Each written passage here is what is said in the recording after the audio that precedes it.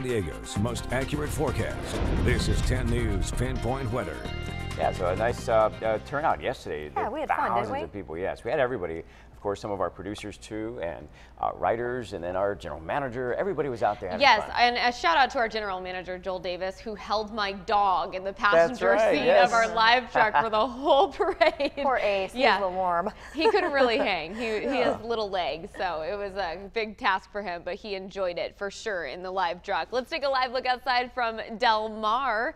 I've seen the horses up since 5 a.m. practicing for you. They're ready to perform as you head out to the racetrack today. We do see a lot of cloud cover at this time, but that's going to clear by about 9, 10 a.m. and then just some high thin clouds, but lots of bright sunshine for you out there. Gates open at noon. First post is at 2. And on Sundays, they do family weekends out there. And so your kids can actually get free admission to the run. And also, they have pony rides, all sorts of cool stuff like inflatable slides. And the conditions will be great 66 to 68 degrees. A little bit muggy, but that sea breeze this afternoon is really going to help you out.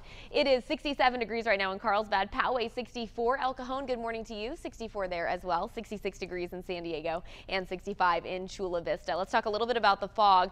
Still zero miles of visibility in Ramona and just one mile of visibility in Julian up in Palomar Mountain and Escondido, some trouble spots as well. So be aware of that as you hit the roads and be watching for those pockets of dense fog.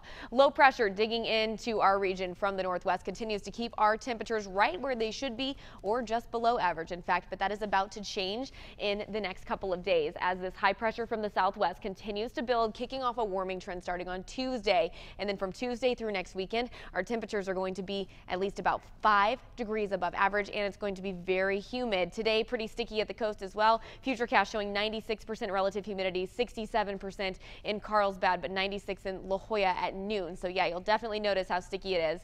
72 today at the coast. We're going to hit the upper 70s on Wednesday, and then we're nearing 80 by the weekend. Inland today, 86, 90 Wednesday through Saturday. For our mountains today, we're calling it 84. Deserts, 107. So 90s on the way inland, you guys. Ooh, getting hotter. Okay, thanks. A sea lion suffering with rubber.